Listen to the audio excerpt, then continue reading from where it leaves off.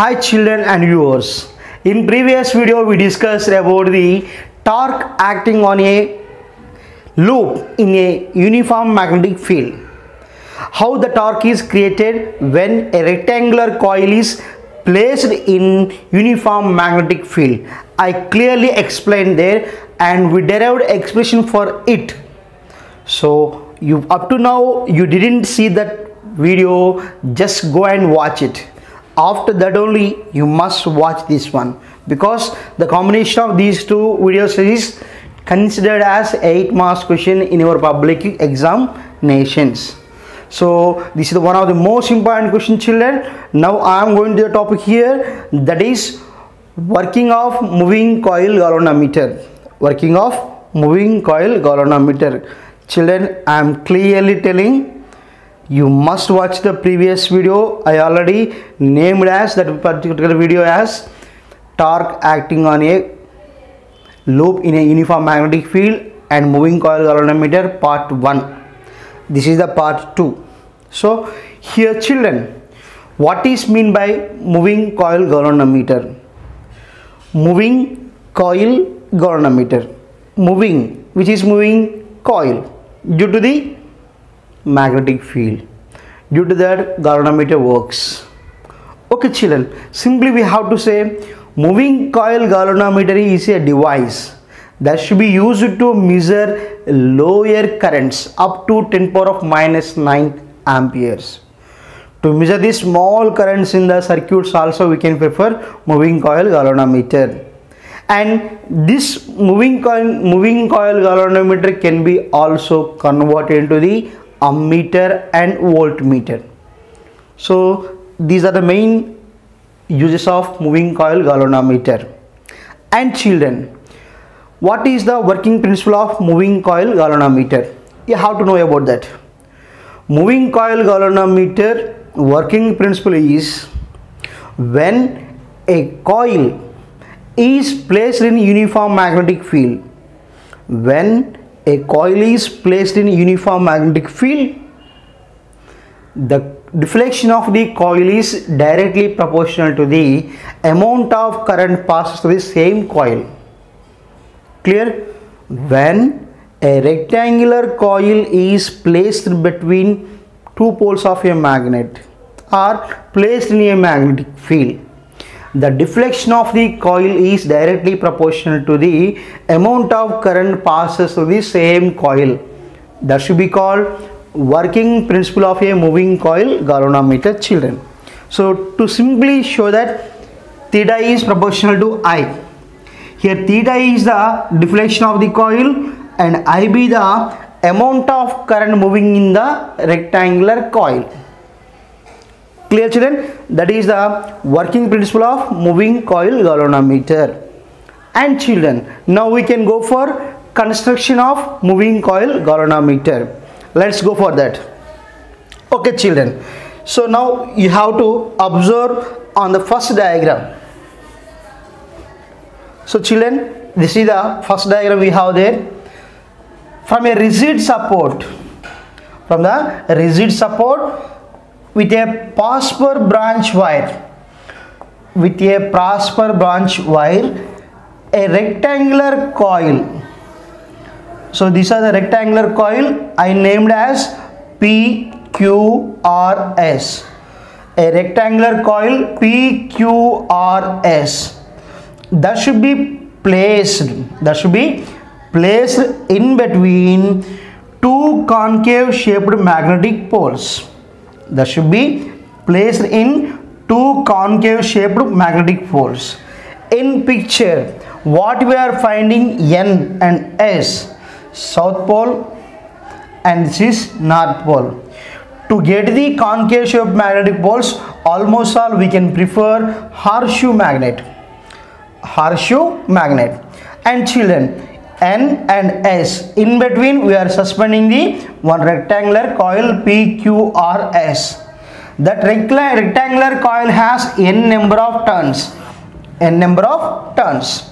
So children to understand the clearly here i am drawing like this. This is the rectangular coil. Clear? So it has so many number of turns like this so many turns n number of turns are there. So that should be p q r s.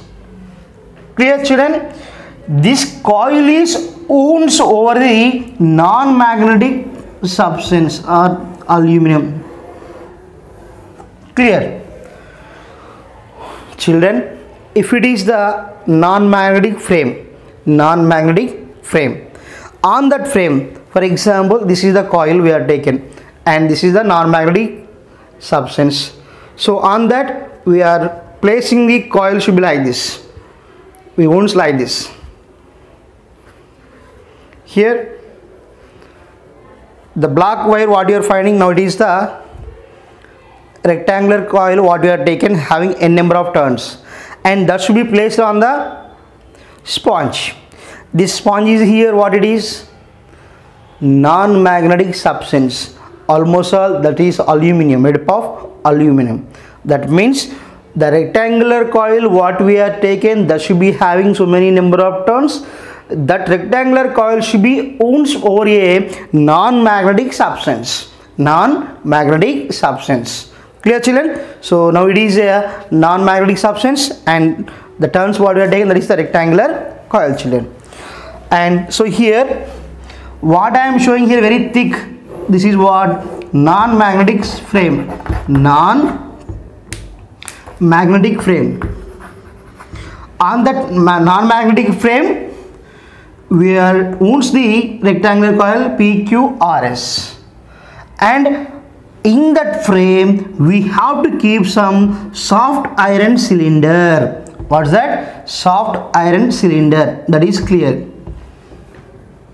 Clear it for pqr is the rectangular coil that should be wound over a non-magnetic frame made up of aluminum and in that we have to keep what? Again soft iron cylinder. Soft iron cylinder.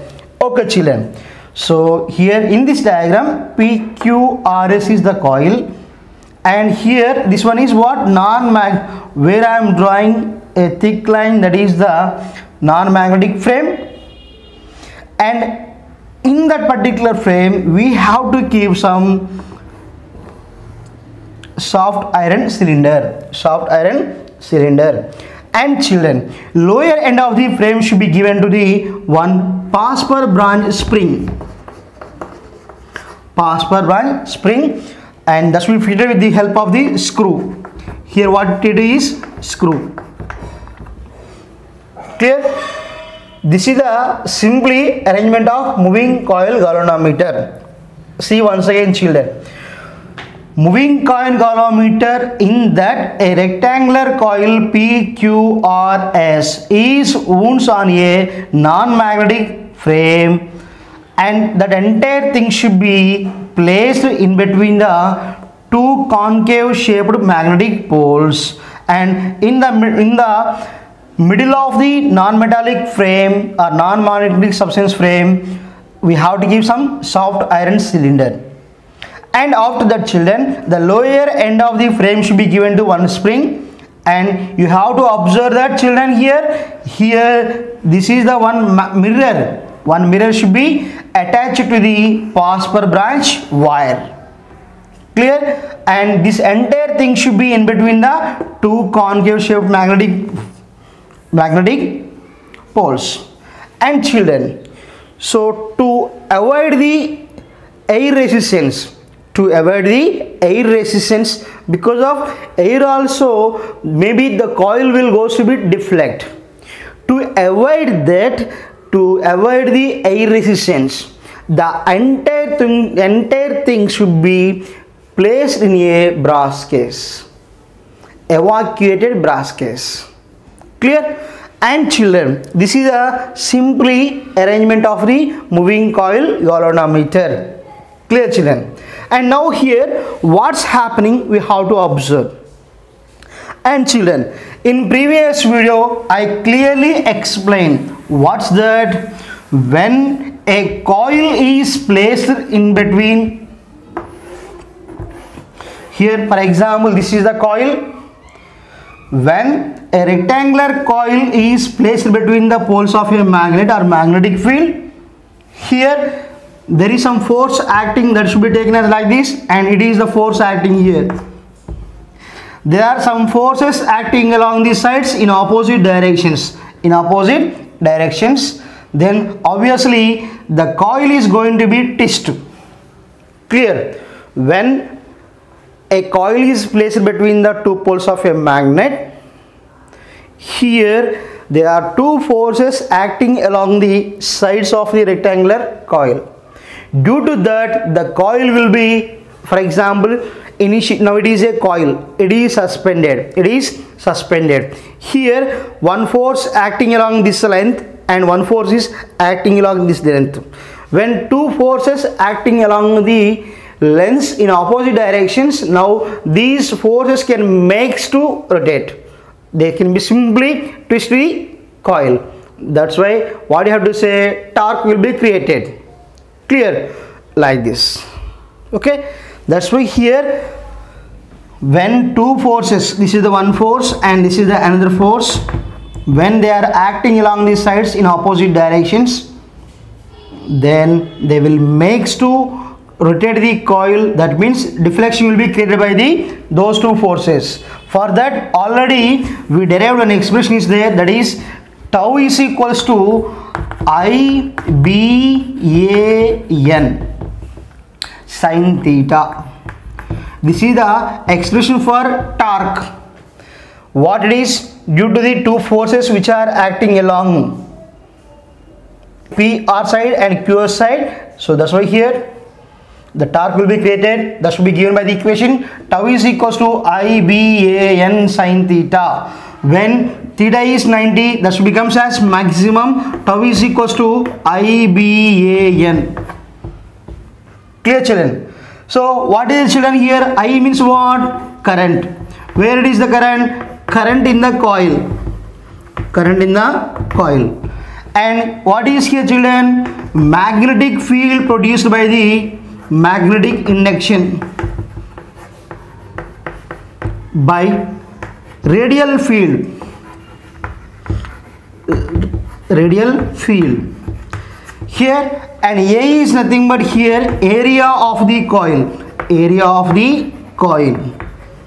And n means what? N is the number of turns in the coil. Number of turns in the coil. Tau is equals to i b a n tau is what? Torque. And i means amount of current in the coil. B means magnetic induction by the radial field. And a is the area. And n means number of turns. And children here one word we observe. What is radial? Magnetic induction created by the radial magnetic field. So children here why what is the necessity of taking of concave shaped magnetic poles? Concave shaped magnetic poles means when we are taken a concave shaped magnetic fields then radial magnetic field will be created. Radial magnetic field will be created. So children in the frame what we have? Iron is there. Soft iron will be there. Clear that's why this metallic frame and soft iron must be along must be always in the parallel to the direction of the magnetic field. Direction of the magnetic field. That means due to the concave shaped poles due to the concave shaped poles radial magnetic field will be developed and the soft iron cylinder what it is there that should be always tries to be in the direction of magnetic field. Radial magnetic field. Clear? The soft iron cylinder must be always in the direction of radial magnetic field. For that purpose only we have to use the concave shaped magnetic field. Simply here we are showing that this is the one soft iron cylinder and you can take like this it is what it is diameter radially and like this. So that means the soft iron cylinder must be always in the direction of radial magnetic field. That should be shown simply like this diagram. So this is the soft iron cylinder and we are showing like this.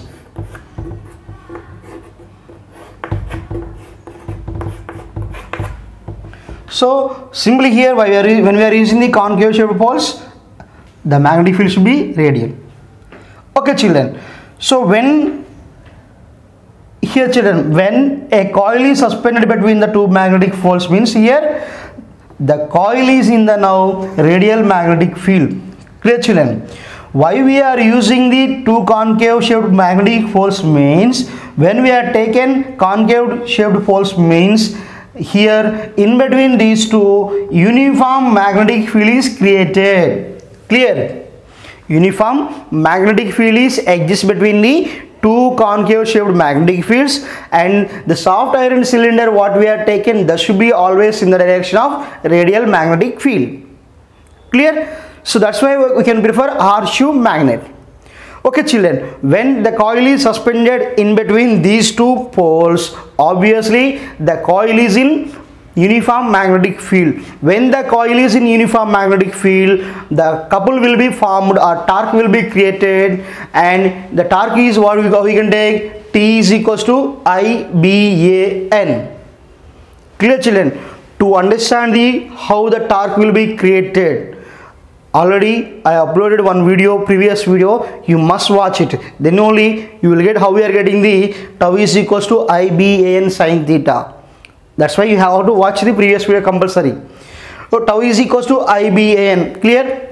When the coil is suspended between the two poles of a magnet torque is created. This should be taken as iban sine theta. Here when torque is maximum we will write tau is equals to iban clear children? And for example now just imagine this is now coil rectangular coil. Initially when we are suspended like this it is the suspended like this here clear? After the introducing in between the poles of a magnet automatically that should be goes like this. Initially it should be like this and now it is twisted. Twisted like this okay? Initially it should be seems like plane now it is twisted. Plane twisted. So because of torque only that is going to this side. Clear? And according to the its elastic properties that should be coming again back so that elasticity is nothing but because of restoring force. Restoring force. Got my point children? Initially it should be there and due to the torque that should be like this. Coming like this and after that again due to restoring force that should be coming. Clear children? So like that here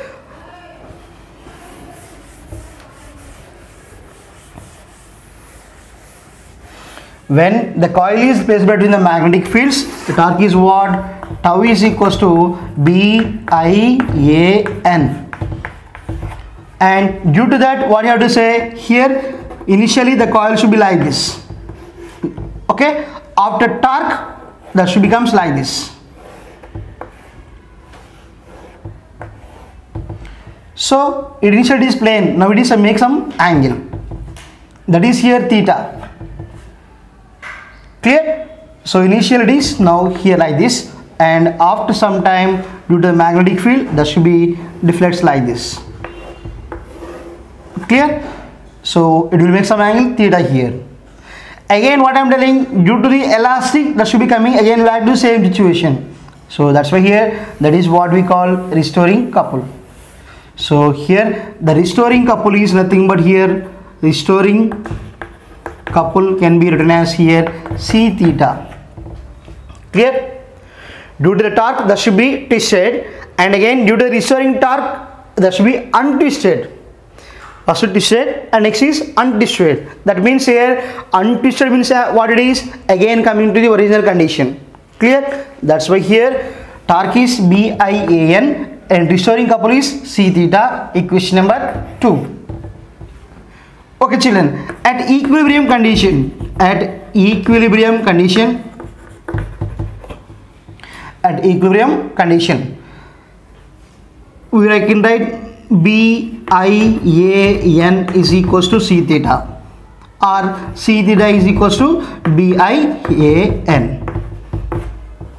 Here from that automatic writing children i is equals to c by b a n i is equals to c by b i n theta that means here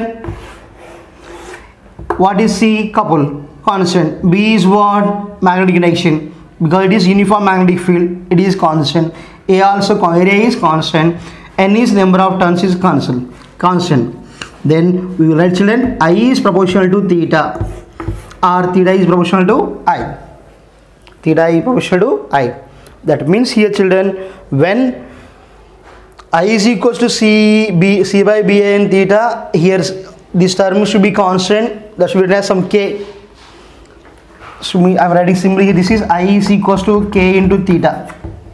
K value is what? C by B I is equals to C by B theta and this should be this term taken as constant. Then I is equals to K theta and I is proportional to theta so this is the working principle of moving coil galvanometer. Moving coil galvanometer children I is proportional to theta.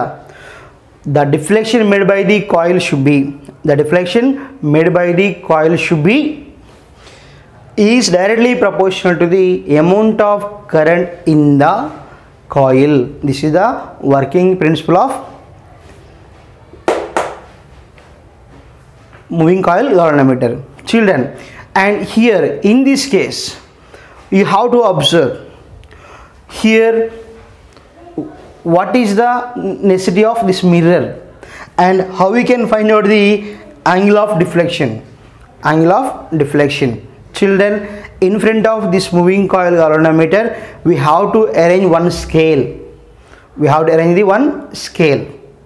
Behind the scale we will arrange one light. Clear watch carefully. For example so here some mc moving coil galvanometer is there. In front of that we have to arrange one scale. We have to arrange one scale. That should be having some readings.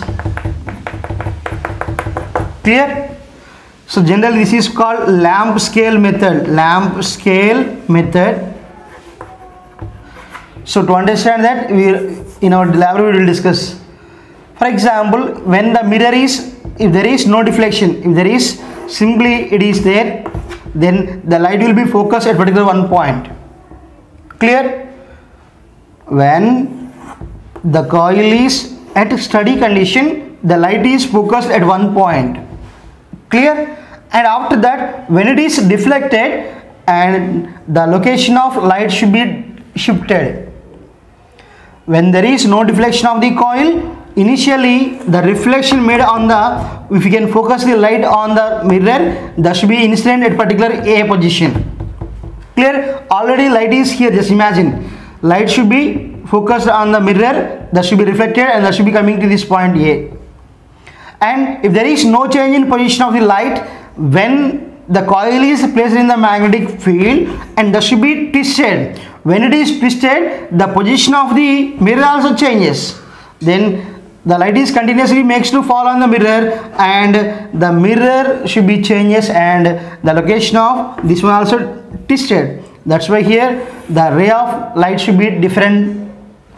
And now there is some angle that should be taken as angle of deflection it is the initial position of the light incident and when it is the coil is twisted that should be placed at some other place. Then the angle between these two is called angle of deflection. So in this way children we will find out the angle by using the lamp scale method. Angle is nothing but deflection of the coil. So this is children about the moving coil galvanometer. See once again children moving coil galvanometer is a device that should be used to measure low currents. And this galvanometer can be used to convert into the voltmeter and ammeter. Clear? And in what is the working principle of moving coil galvanometer? When the rectangular coil is placed between the concave shaped magnetic fields magnetic poles then the deflection made by the coil is directly proportional to the amount of current passes through the rectangular coil. And children simply construction. It is the one torus phosphorus bronze it is there. From the torsional head we are suspended the rectangular coil with the help of phosphor bronze wire and the rectangular coil has a number of turns. And these turns must be wound on a non-metallic frame. And in between the non-metallic frame we have to give one soft iron cylinder. And for this phosphor bronze wire a mirror M is attached. And lower end of the spring lower end of the frame should be given to the another spring with help of the screw. This is the construction. Okay children. And after that this entire thing should be placed in between the two concave shaped poles of magnet. So due to that only that should be in, in the uniform magnetic field. And after that children? When it is placed in the magnetic field there is some torque is created. That is what? IBAN clear? IBAN is the torque created in the rectangular coil. And after children due to the elastic properties of the that particular coil that should be again coming to the same position. That should be called as restoring couple that is C theta. So at the equilibrium condition C theta is equals to BIAN from that what you write? I is equals to C by BAN theta. That means I is proportional to theta. So this is simply about the working principle of moving coil galvanometer I is proportional to theta and children the deflection of the coil should be measured by using the lamp scale arrangement. So this is no need to go very de- deeply about the lamp scale method. Simply you have to write theta is what the deflection made by the coil and that should be measured with help of the lamp scale method. Children i hope you understand. This is about information about the moving coil galvanometer. We will meet in the next video with some other interesting topic. Bye take care